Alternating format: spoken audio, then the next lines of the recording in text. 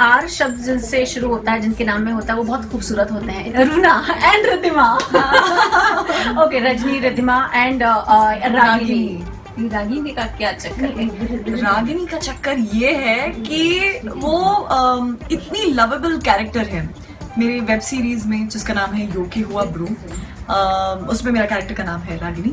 और Ragini is very भोली भाली I very typically Delhi girl who likes to you know चलो ना यार, दीदी बहुत फन आ रहा है, कम लजू सब मस्ती आ मतलब क्या कर रहे हो दीदी आ like that she is okay and then cut to she has some shades of grey and दो लड़के हैं बेचारे who never get laid and उनके होप्स इतने हाई हैं। Shamita who's playing my older sister's character as Suman so Suman और रागिनी को देखकर उनके होप्स इतने हाई है कि बस ये दो लड़कियाँ हमारी गर्लफ्रेंड्स बन जाए।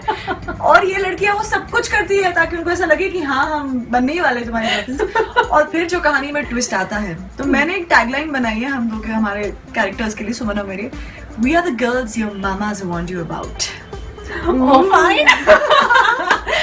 fine. Okay मैं बहुत सारे रोल्स मैं तो आपको मैं देखती रही हूँ इनका रजनीकांत में she was so damn cute इतनी क्यूट लगती थी कि रोबोट बन के कैसा लगता जब पहली बार आपको मालूम पड़ा कि आपको रोबोट बनना है तब कैसी फीलिंग आई थी?